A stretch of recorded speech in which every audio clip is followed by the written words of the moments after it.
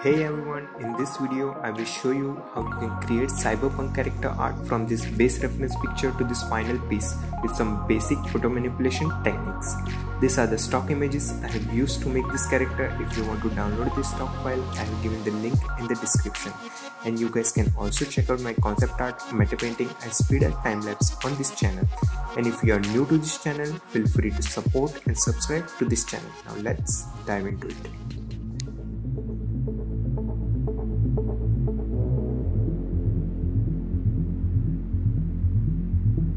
Thank